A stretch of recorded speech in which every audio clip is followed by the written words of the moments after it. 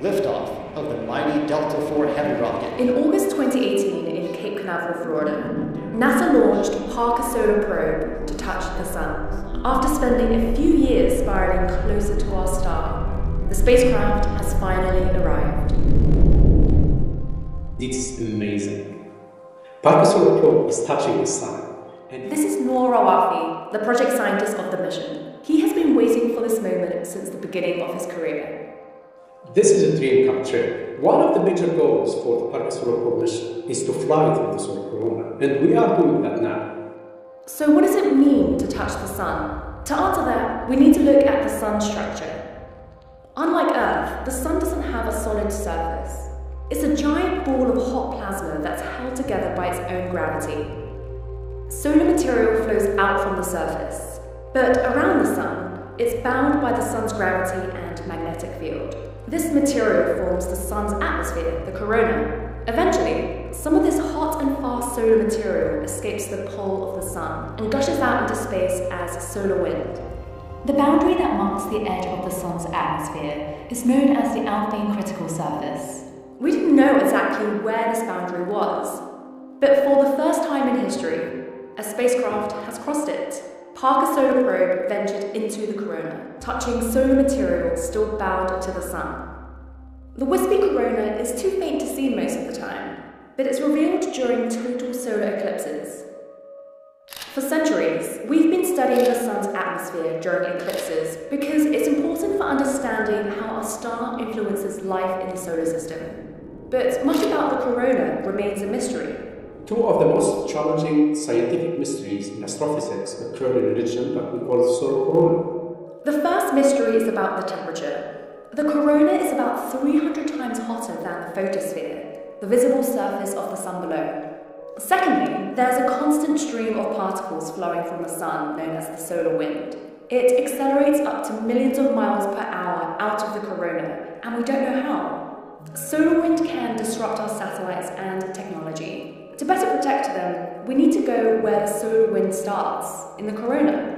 So heading there has been a key goal of NASA's for a while. We first proposed the idea of sending a spacecraft to the Sun in 1958.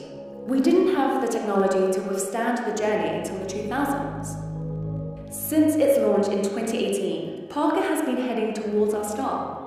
Then, in April 2021, during Parker's eighth orbit around the Sun, the spacecraft was around 20 solar radii, or 8 million miles from the Sun's surface, when it crossed into the corona.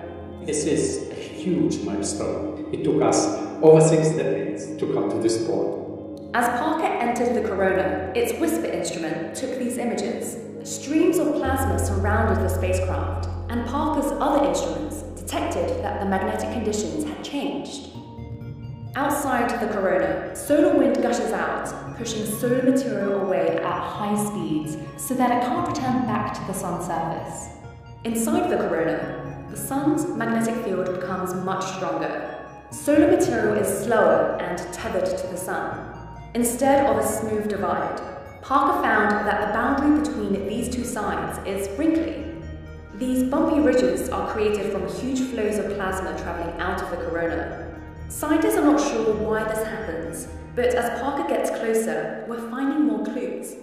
Before entering the corona, Parker had seen kinks in the solar wind where it would momentarily double back on itself.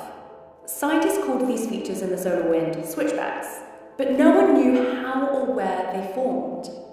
In 2021, the spacecraft finally tracked switchbacks to one of their origins. As Parker got even closer to the Sun, it detected bursts of switchbacks. Scientists trace these bursts all the way to the visible surface of the Sun. Here we see distinct cells. As heat rises beneath, these convection cells churn and create funnels of magnetic energy above the surface. Scientists found that switchbacks form inside these funnels before rising into the corona and beyond. This is only one piece of the switchbacks puzzle though. Exactly how they form is still unknown.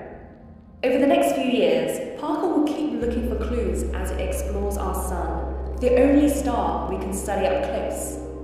The sun is also the only star known to support life, so understanding it is critical as we search for life beyond our solar system. that will link directly into the question Are we alone in this universe? And that is one of the biggest questions for humanity to answer.